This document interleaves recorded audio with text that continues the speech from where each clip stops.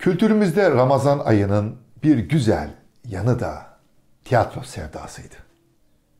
İstanbul'da direkler arası denilen o Beyazıt'taki semtte birbiri ardına tiyatro sahneleri kurulurdu.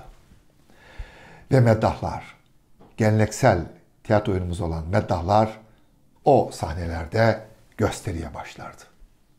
Ben tabii o yıllarda yoktum ama ben çağımızın son meddahlarından birini ne mutlu bana ki tanıyabildim. Onu anlatmak istiyorum size Mahya Işıkları'nın bu bölümünde. Ama 1930'lu yıllara gidelim ve Trabzon'dayız, Akçabat'ta. Akçabat'ta bir evin içindeyiz. Anlatacağım Meddah'ın çocukluğundayız. Ayağını kırmış. Yatakta yatıyor. Yatak tam pencerenin kenarında. Hava güzel. Arkadaşları dışarıda uçurtma uçuruyor. İçi gidiyor çocuğun. Nasıl gitmesin ki? Babası oğlunun bu halini görünce daha da hüzünleniyor. Ve birden babası odaya geri dönüyor. Babanın elinde bir kova boya ve fırça. Çocuğun yatağının kan tam böyle karşısındaki duvarı maviye boyuyor. Rengarenk, masmavi. Ve bir çivi çakıyor. Bir de uçurtma asıyor. Uçurtmanın ipini yatağındaki çocuğun eline veriyor. Bak evladım artık senin de uçurtman var. Uçurt. Ve ayağı kırılan çocuk hayallerinde uçurtma uçuruyor.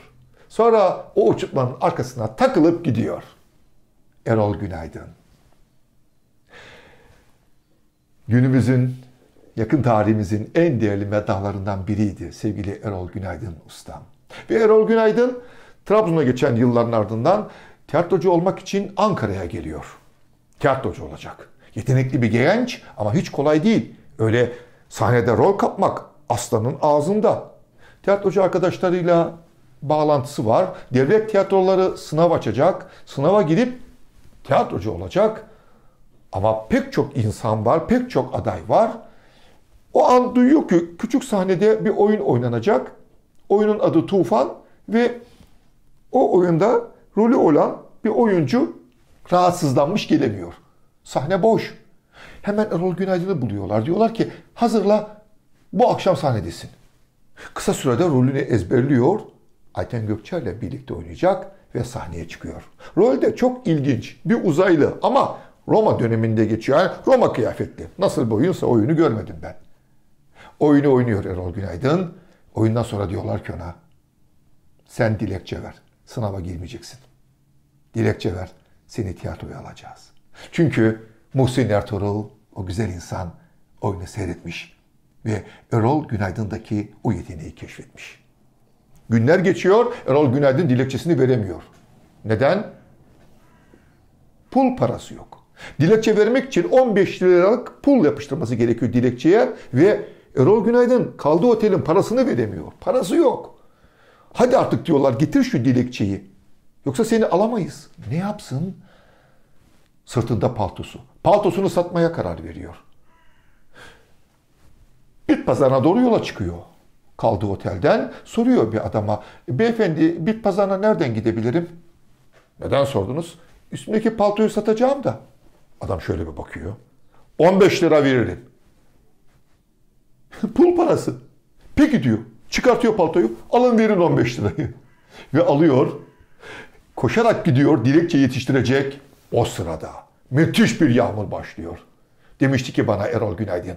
Sunay sanki Ankara'nın bütün yağmurları durdu durdu durdu durdu. Benim paltomu satacağım o günü bekledi. Hepsi üstüme yağdı. Sırılsıklam.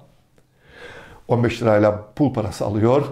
Islaklığına tutarak pulları dilekçeye yapıştırıyor ve tiyatroya öyle giriyor. Fakat kalacak yeri yok. Beni idare edin diyor. Ne olursunuz. Şu sahnenin arkasında kalayım. Dekorların yanında yatayım. Peki diyorlar. Hadi sen burada kal. Olmaz ama hadi kal. Ve her oyun sonrası herkes evine giderken o tiyatro sahnesinin arkasına çekiliyor. Orada yatıyor. Ve karnı aç. Oynadığı oyun gereği e, oyunun bir yerinde sahneye bir tepsi pilav geliyor. Her oyun sonrası dekorlarla birlikte o pilav arkaya kaldırılıyor. Ertesi gün oyun oynanacak. Pilav yok. Kim yedi bunu? Neyse hadi oyun başlayacak. Çabuk lokantadan pilav getirin. Pilav geliyor, tepsiye konuyor, oyun oynanıyor, kaldırılıyor. Ertesi gece yine pilav yok. Kim yiyor? Elbette ki Erol Günaydın. Aç. Bu duyuluyor. Birileri çok rahatsız oluyor. Dekor yiyor, aksesuar yiyor bu adam. Tiyatronun malını yiyor. Erol Günaydın korkuyor.